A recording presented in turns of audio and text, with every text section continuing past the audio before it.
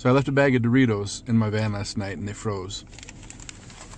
Frozen Doritos. But here's the strange thing. Look at what happened. It's it's it's bulging, inflated with air. Wonder what would cause my bag of Doritos